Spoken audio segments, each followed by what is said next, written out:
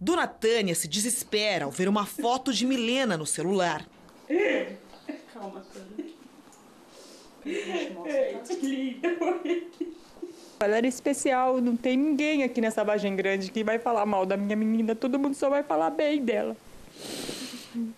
Só bem. Milena e o irmão moravam apenas com o pai Francisco, dono de escritórios de contabilidade na região.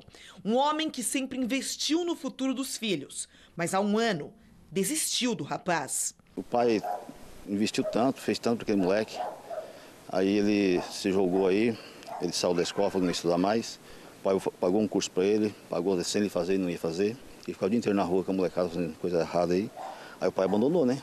Então vou investir só na menina. Tá? Vou deixar você de lado. Aí, você quer, quer essa vida? Então fica aí. Aí cortou tudo, cortou dinheiro, cortou isso, cortou tudo, mordomia, né? E vou cuidar só da menina.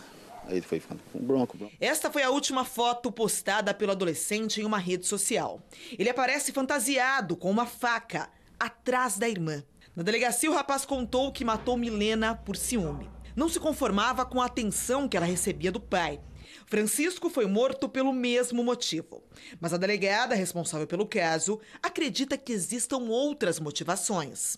Eu acho que ele juntou tudo: a raiva que ele tinha do pai, da irmã, o uso de drogas e uma provável facilidade na vida dele, sem o pai e a irmã perto dele. Este homem que presta depoimento na delegacia é o Elton, um primo distante de Francisco. Ele ajudou o adolescente de 16 anos e o filho, o outro menor, a esconder os corpos. Primo chamou o pai, dizendo que precisava tirar uns objetos lá. Quando o pai chegou e viu que aqueles corpos dentro, viu umas malas, perguntou para eles: o que, que é isso?